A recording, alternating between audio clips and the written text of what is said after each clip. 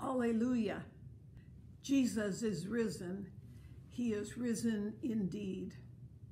Words of great hope and joy. May those be words that live in our hearts and in our homes.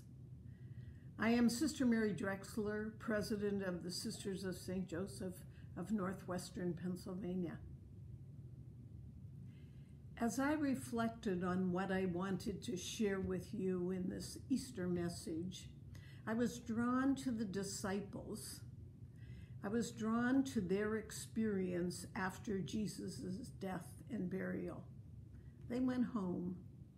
They were discouraged, lonely, sad, frightened.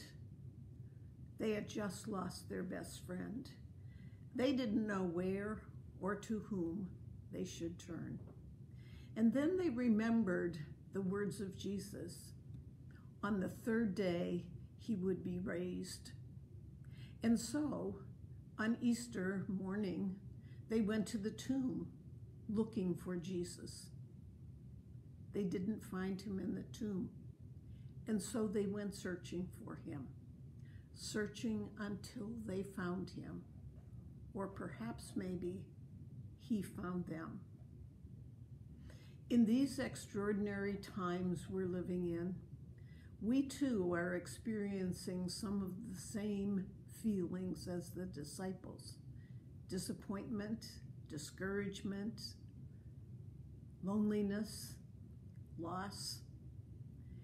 And we also, at times, don't know where or to whom we should turn. Our faith invites us to turn to Jesus, to look for him, not in the empty tomb, but to look for him in our hearts and in our homes, to look for him first in ourselves. And when we discover the Christ within us, to look for him in one another.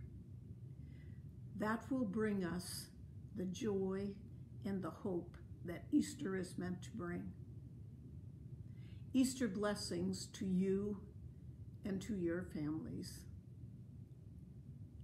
Happy Easter.